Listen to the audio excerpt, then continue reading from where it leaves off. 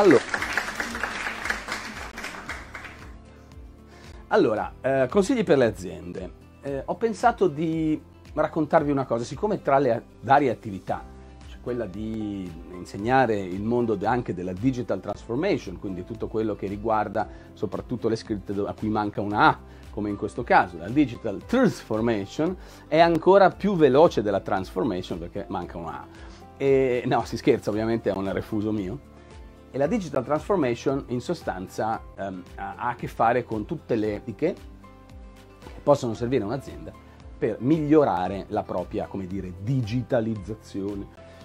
E oggi si parla di impresa 4.0, cioè di un nuovo modo di fare impresa, peraltro è anche il titolo di un libro che trattava proprio questi temi molto ante litteram, eh, che ho scritto insieme al professor Franco Giacomazzi, che ci ha lasciato pochi anni fa, e a cui sono sempre eh, grato e legato e insieme a lui ho avuto l'opportunità di scrivere questo libro con il Financial Times dove trattavamo proprio questi temi.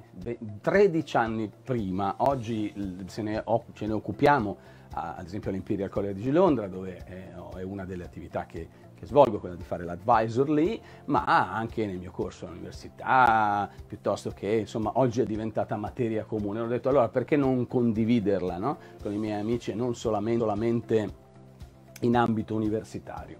Allora, e, siccome stavo scrivendo proprio dei pilastri, come si dice, cioè dei pillars in inglese, cioè delle, de, dei punti fondamentali, delle milestone, delle pietre miliari, eh, io ho pensato di condividerle, perché magari qualcuno di voi è un'azienda e fare digital transformation non significa per forza solamente, come dire, non significa solo eh, che non, non, ha a che fare, non afferisce, come si dice in ambito più eh, colto, eh, a, solamente alle aziende grandi, ma anche a quelle piccole. E allora il tema non è quello degli strumenti, cioè è molto facile pensare che tutto sia legato ad uno strumento piuttosto che a un altro. Quindi cosa devo usare per fare digital transformation?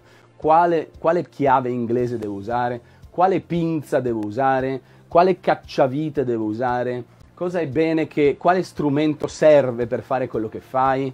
Il punto è il come, no? il cosa si fa, quali sono gli obiettivi. Questo è, la, questo è l'aspetto più importante. L'altra è che non finisce mai, cioè non si smette mai, non c'è un momento in cui si uh, trasforma l'azienda e eh, defatta. È un continuo, è un percorso che facciamo e che non finisce mai. Un'altra, quindi ripeto, questo vale anche se, da, se abbiamo il fruttivendolo, la piccola macelleria, un piccolo sito di e-commerce o se siamo la big, large company. Altra cosa, non seguiamo le buzzword, ok? Cioè le paroline che vanno di moda al momento. Influencer non esistevano, blogger non esisteva, adesso esiste, avanti così, ok? Cioè siamo sempre legati soprattutto alle basi, perché è importante. Le basi sono come dire, sono sempre quelle, alla fine è un mondo di umani. Pensate che da una serie di ricerche il 70% dei tentativi di trasformazione in digitale di un'azienda, piccola o grande che sia, ma questo riguarda anche i professionisti, e qui siamo tutti professionisti, no? um, eh, eh, eh, hanno bisogno dire, di, di, riflettere su questi temi, perché appunto è facile fallire, di solito non ma- mancano le risorse, cioè non ci sono abbastanza soldi, non ci sono abbastanza persone. È un grande problema che soprattutto abbiamo in Italia ed è paradossale in un momento in cui c'è una grande disoccupazione, soprattutto giovanile, mancano proprio i tali. Mancano loro. Pensate che sono veramente, credo, 100.000 le risorse richieste nel settore del digitale. E questo vuol dire ragazzi che oggi sono disoccupati e che possono imparare magari non a diventare dei mega grandi esperti, ma banalmente a diventare, che ne so io, dei piccoli bravi grafici o cose simili, di saper mettere le mani su un sito, saper gestire dei social, quindi non serve un lavoro che richiede, come dire, una, anni di studio, ma a volte molto poco e potrebbero trovare subito lavoro.